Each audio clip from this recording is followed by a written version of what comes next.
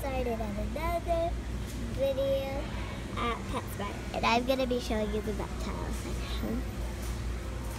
And so, if here there's supposed to be a Chinese water dragon. I don't know if you can see it right there. I sure can't see it. And then in here, look on the stick. That, that's a long-tailed lizard. And this was a Chinese water dragon. And then you can see the green anole lizard right there. I can't see up here. So I'm just going to show you up here because I can't see. So making sure you guys don't miss anything. And then we never see the tree frog down here. But up there, there's a bearded dragon. Down here, there's nothing. Um, you can see the reflection in the glass. There's a leopard gecko in there.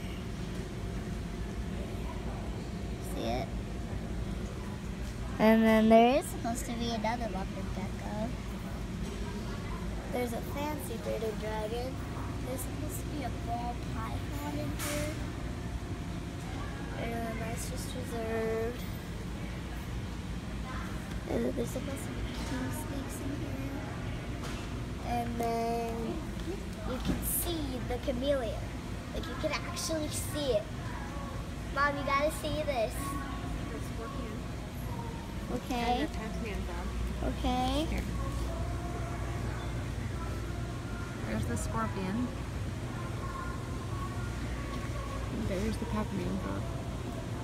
I don't know what's. I think there's supposed to be a snake in there, but you can't see it very Yeah, well. there's supposed to be corn snakes. And then, Mom, look. You can see the chameleon. I know. So, that is the reptiles at PetSmart.